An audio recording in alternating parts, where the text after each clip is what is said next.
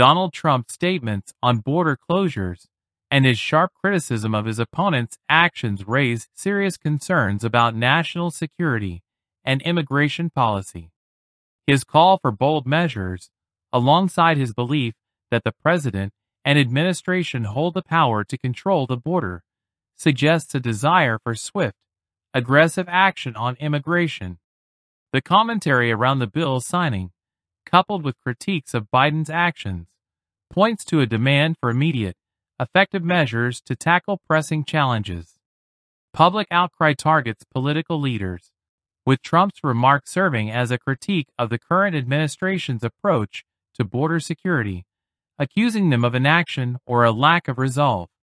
This criticism amplifies calls for leadership to wake up, as many feel there's an absence of effective, committed governance in this area. I would say we would both leave this debate right now. I'd like to see her go down to Washington, D.C. during this debate because we're wasting a lot of time. Go down to, because she's been so bad, it's so ridiculous. Go down to Washington, D.C. and let her sign a bill to close up the border because they have the right to do it. They don't need bills. They have the right to do it. The president of the United States, you'll get him out of bed, you'll wake him up at four o'clock in the afternoon, right. you'll say, come on, come on down to the office, let's sign a bill.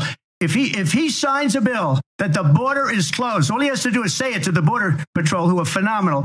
If they do that, the border is closed. Mr. Those President, people are killing many people, wanna, unlike J6. Uh, we talked immigration here tonight. I do want to focus on this next issue.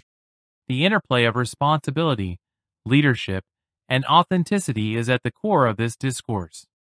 The focus on decisive action and accountability reflects a growing dissatisfaction with perceived inefficiencies and half-hearted attempts to solve complex issues. Trump's comments reveal a broader struggle within leadership to balance power, accountability, and meaning in the face of mounting national concerns.